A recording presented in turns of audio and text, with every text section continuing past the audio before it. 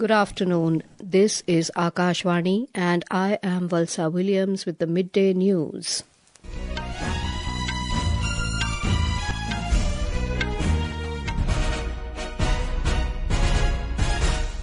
The headlines Railways to set up permanent holding areas at 60 railway stations across the country to manage crowds.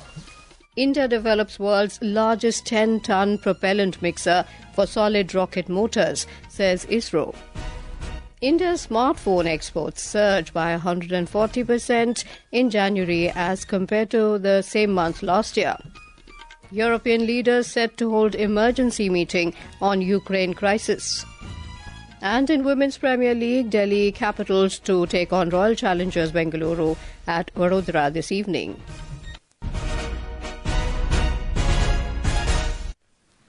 The railways will set up permanent holding areas at 60 railway stations across the country to manage crowds. Sources in the ministry said the decision has been taken to manage heavy crowds during peak season. The railways will also use advanced technology to monitor crowds. It said a special campaign will be launched at all Delhi railway stations to monitor the facilities and smooth flow of passengers. During the campaign, the railways will take feedback from passengers, shopkeepers, police, and coolies. To ensure smooth passenger movement, platform tickets will not be issued at New Delhi railway station for the next one week between 4 pm and 11 pm.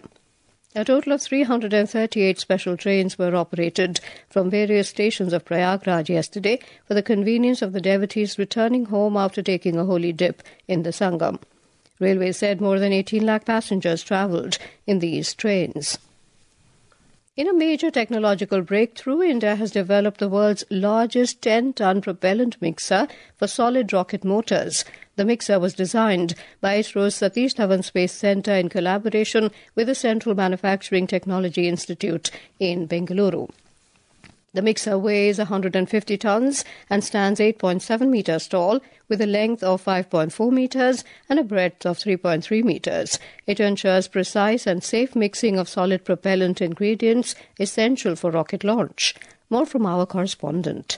The Indian Space Agency ISRO has once again made our country proud. From the launch vehicles to satellites, from launch pads to spacecraft re-entry technologies, ISRO has achieved milestones significant for the growth of Indian space program. The production of 10-ton vertical mixer is testament to India's growing technological prowess, self-reliance and commitment to innovation. This equipment can be operated remotely as the process involves highly hazardous materials. The capacity of the mixer is so huge that it will help speed up heavy solid motor production. The hydraulic driven multiple agitators will ensure precise mixing of the ingredients. Sudhindra Akashvani News, Bengaluru. India's smartphone exports surged by 140% in January compared to the same month last year, reaching a record 25,000 crore rupees. This remarkable growth was driven by tech giants Apple and Samsung, who ramped up overseas shipments from their Indian supply chains. From April to January of the current financial year, total smartphone exports have touched 1.55 lakh crore rupees, representing a 56% increase over the corresponding uh, figure of 99,120 crore rupees in the same period last year. India's growing electronics exports, especially in smartphones, have been boosted by the government's production linked incentive scheme, which has attracted global tech giants. In West Bengal, the leader of the opposition, Suvendu Adhikari, and three other BJP MLAs have been suspended from the assembly today for a period of 30 days or until the current sitting of the session continues. Earlier, when the House sat for today's business, the BJP demanded a statement from Chief Minister Mamata Banerjee on the issue of alleged resistance to Saraswati Pujo at various educational institutions this month. Women members of the BJP, led by Agnimitra Paul, moved an adjournment motion on the issue. Speaker Biman Bandyopadhyay allowed the motion but denied permission to hold a discussion on it. BJP members, led by the leader of the opposition, Shubhendu Adhikari, then went to the well of the House. The Speaker expressed his displeasure at the conduct of the BJP MLAs. BJP MLAs walked out of the House and demonstrated outside the Assembly. The inaugural day of the Assam Legislative Assembly's Budget Session 2025 began today at the Bodoland Territorial Council BTC Legislative Chamber in Kokrajhar. This is the first time that the Assembly convened outside the state capital of Dispur. The first day's proceedings began at 12 noon in Kokrajhar, followed by the speech of Governor Lakshman Prasad Acharya. The remaining day's session will take place at the Assam Legislative Assembly chamber in Dispur, Guwahati. The budget will be tabled on the 10th of March. This will be the last full-fledged budget of the Himanta Biswa Sarma-led state government, as the assembly polls are likely to be held in March-April next year. The government terms the one-day session in Kokrajhar as a, uh, a uh, significant milestone, symbolizing peace, progress, and the inclusive development of the Bodoland territorial region. In Jammu and Kashmir, a brief exchange of fire took place along the line of control LOC in Gulpur sector of Poonch district when an army post came under fire from a forested area of Pakistan yesterday. Akashvani Jammu correspondent cited reports that the firing, believed to be sniper shots aimed at the army soldiers, took place yesterday. The soldiers retaliated and the exchange of fire lasted for a very brief period. There was no report of any damage on the Indian side. However, it was not clear whether the Pakistani army was behind the firing or the terrorists hiding in the forests and waiting for an opportunity to sneak in. The ceasefire violations along the borders in Jammu and Kashmir have become few and far between since India and Pakistan renewed the ceasefire agreement on February 25, 2021. In the seventh episode of Pariksha Pe Charcha 2025, boxer and Olympic medalist Mary Kom, Paralympic gold medalist shooter Avni Lekhara, and Indian shuttler Suhas Lalinakere Yathiraj shared tips on handling exam pressure. Yathiraj conducted a fun activity and shared a technique to remove negativity from life. Indian shooter Avni Lekhara told students if they study daily with complete focus, they will be able to retain the information. She said there are breathing exercises that help maintain a calm heart rate during exams. कभी कभी ना consistency बहुत matter करती है चीज़ों के लिए अगर आप रोज आधा घंटा एक घंटा पढ़ाई कर रहे हो एक घंटा पूरा फोकस के साथ करोगे तो आई थिंक आपको वो ज़्यादा दिमाग में रहेगा ब्रीदिंग एक्सरसाइजेज होती हैं अगर आप वो करते हो तो आपका ना जो हार्ट रेट है वो भी थोड़ी काम होती है और आप एक चीज़ पे ध्यान दे पाते हो Sharing the video of the Pariksha Pe Charcha episode, Prime Minister Narendra Modi said the country's sportspersons inspire people with their resilience, focus, and winning mindset.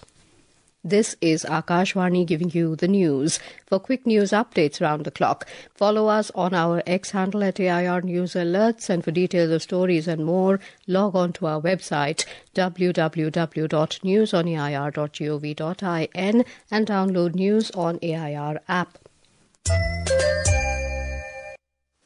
Welcome back to the midday news. French President Emmanuel Macron will host an emergency summit of European leaders, including Britain's Prime Minister Keir Starmer, on the Ukraine conflict today. The development comes after US officials suggested Europe would have no role in any talks on ending the conflict. The French presidency has said Macron had called for the consultation talks and they would address the tumultuous change in the US approach to Ukraine and the attendant risks to the security of the European continent. German Chancellor Olaf Scholz, Polish Prime Minister Donald Tusk, NATO Secretary General Mark Rutte, Italian Prime Minister Giorgia Meloni, European Commission President Ursula von der Leyen, and President of the European Council Antonio Costa are expected to be at the summit. The Emir of Qatar, Sheikh Tamim bin Hamad Al Thani, will be on a two day state visit to India from today. During the visit, Sheikh Tamim will hold talks with Prime Minister Narendra Modi. He will be accompanied by a high level delegation, including ministers, senior officials, and a business delegation. The External Affairs Ministry said in a statement the visit of the Emir of Qatar will provide further momentum to the growing multifaceted partnership. The MEA said in recent years the ties between the two countries, including in the areas of trade, investment, energy, technology, culture, and people to people ties, have continued to strengthen. The Mahakumbh 2025 is proving to be a golden opportunity for artisans from across the country. This grand event, held at the confluence in Prayagraj, features an impressive exhibition of one district, one product, spread over 6,000 square meters. Our correspondent reports that the exhibition has been a hit among both the local populace and the visiting devotees.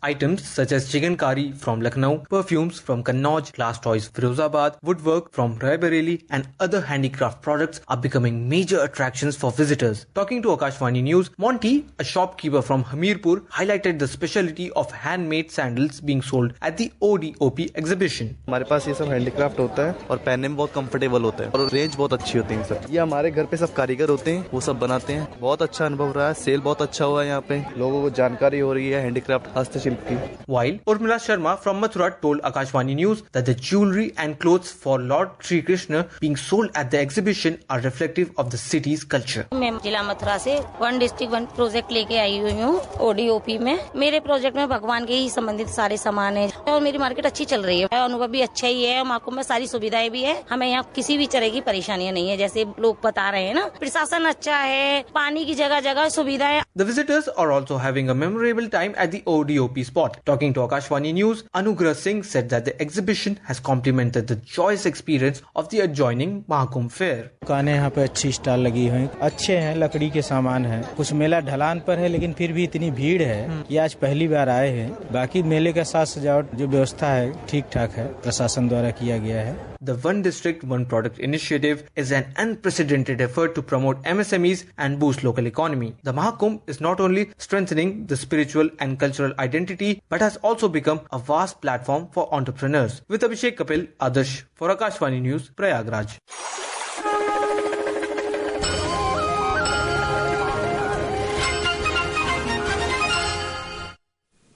An earthquake of magnitude 4 hit New Delhi and several parts of northern India early this morning. According to the National Center of Seismology, the origin time was 0536 hours and the epicenter was located at a depth of 5 kilometers near Delhi. Minister of State for Earth Sciences Dr. Jitendra Singh assured citizens that the authorities and experts are constantly monitoring the situation after tremors hit Delhi this morning. Meanwhile, in Bihar, tremors were also felt this morning in Siwan district and the adjoining areas. People came out in panic from their houses after experiencing the tremors. The India Meteorological Department has said the day temperature continues to be above normal by 3 to 5 degrees Celsius over Delhi, Rajasthan, Punjab, Haryana, and West Uttar Pradesh. Talking exclusively to Akashvani News, senior IMD scientist R.K. Jenamani said a western disturbance is likely to affect rising temperatures, bringing light to scattered rainfall, thunderstorms, and lightning over northwest India and the western Himalayan region from the 19th of this month. Day temperature uh, continue to above normal by 3 to 5 degree over North India, particularly over Delhi, Rajasthan, Punjab, Haryana and West UP. Uh, it will continue to rise another 1 to, to 2 degree or 3 degree. Good news is that uh, active western disturbance is coming around 19 and that will cause light rainfall 20th early morning or 19 night also. Thunderstorm can occur over the northwest India including western Himalayan region on 19 and 20. In Women's Premier League WPL, Delhi Capitals will take on Royal Challengers Bengaluru RCB at the Kotambi Stadium in Vadodara this evening. The match will start at 7:30 p.m. Both teams have registered victories in their previous matches. The benchmark domestic equity indices Sensex and Nifty were trading with losses of around 0.3% in afternoon trade today as caution prevailed among investors amid continued selling by foreign institutional investors, weak third quarter corporate earnings and mixed global cues. The 30 share BSE Sensex shed 242 points to 75,697 and the NSE Nifty 50 lost 66 points to 22,863 when reports last came in. And now, before we end the bulletin, the headlines once again. Railways to set up permanent holding areas at 60 railway stations across the country to manage crowds. India develops world's largest 10 ton propellant mixer for solid rocket motors, says ISRO. India's smartphone exports surged by 140% in January as compared to the same month last year. European leaders set to hold emergency meeting on Ukraine crisis. And in Women's Premier League, Delhi Capitals to take on Royal Challengers Bengaluru at Vadodara this evening. And with that, we end the midday news.